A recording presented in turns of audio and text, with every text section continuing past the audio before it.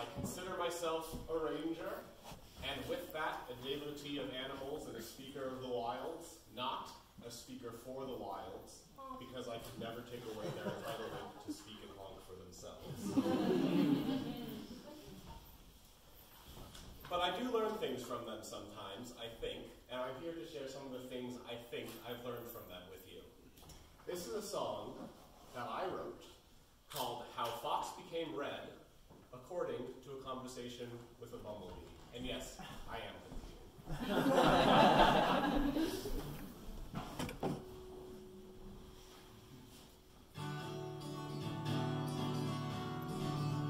There once was a brown fox in the as foxes used to be and do.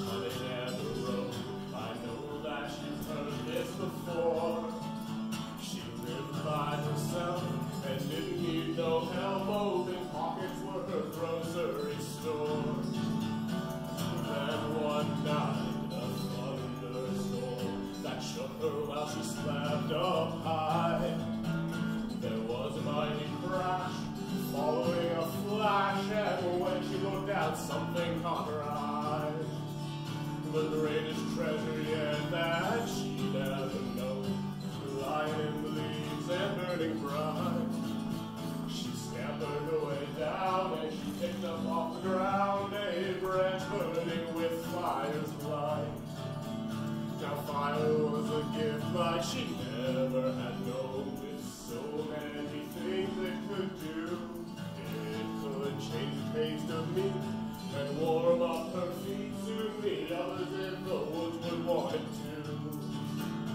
Snake came first, startling fox from the ground, asking flames to scare mice from their holes.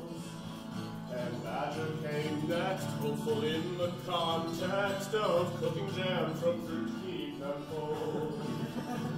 Owl was the third to ask fire from the fox, hunt with that night and help him see.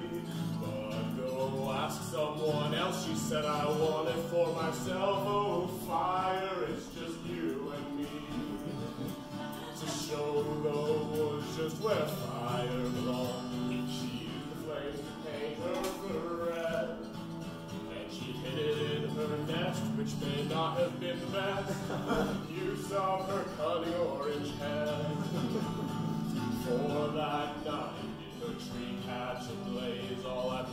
She had more than she could share. So she dashed into the woods, seeking any help she could, hoping that her friends would be there. But Snake was annoyed and Badger said no. Owl spoke the clearest of the three, saying, Fox, why don't you quit? Cause we're tired of your shit. Next time, save some for me.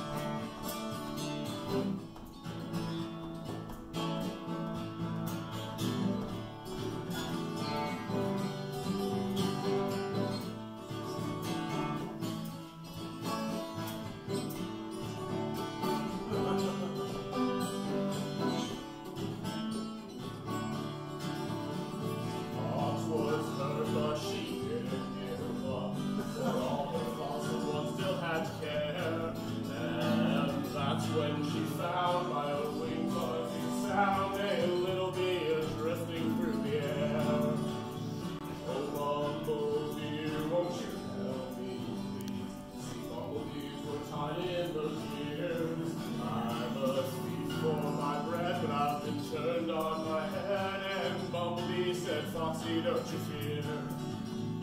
And the Bumblebee, so gentle and kind, reached out to everyone they knew. Fox led them to the flame, and all the small bees came, knowing just exactly what